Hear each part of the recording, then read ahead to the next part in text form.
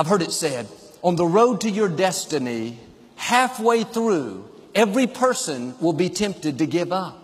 Some turn around go back. The others stay committed and keep moving forward.